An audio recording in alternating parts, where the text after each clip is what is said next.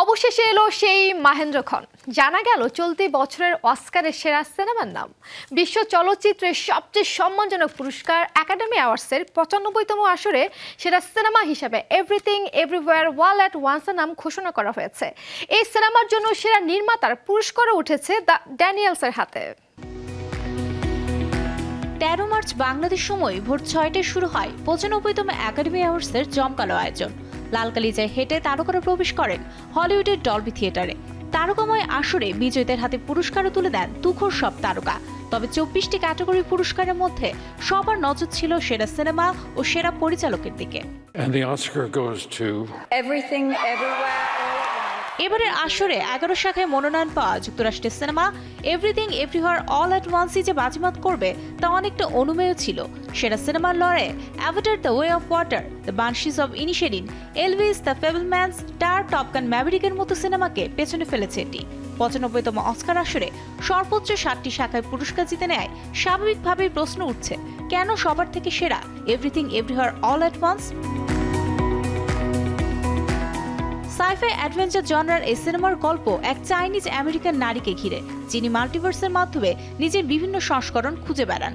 বর্তমান প্রজন্মের নিজের পরিবারের সাথে কানেক্ট করতে না পারা বাবা মায়ের দুশ্চিন্তা ও সামাজিক উদ্বেগ ফুটে উঠেছে এখানে, যার সাথে সংযোগ করতে পেরেছেন পশ্চিমা বিশ্ব।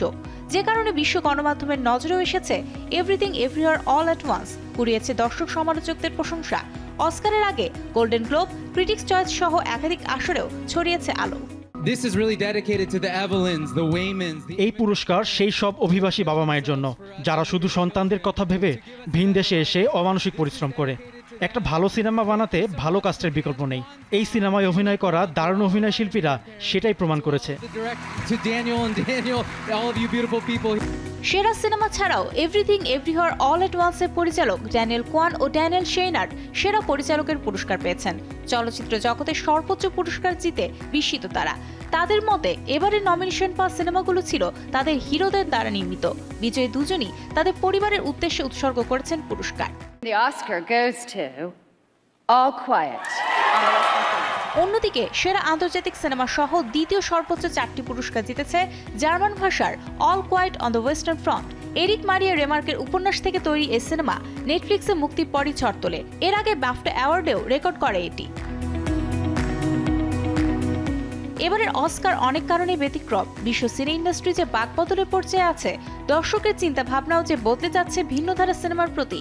Everything everywhere all at once কিংবা all quiet on the western ফ্রন্টে সেরার পুরস্কার জেতা সহ রেকর্ড করা যেন তারই প্রমাণ। Mario Sen two night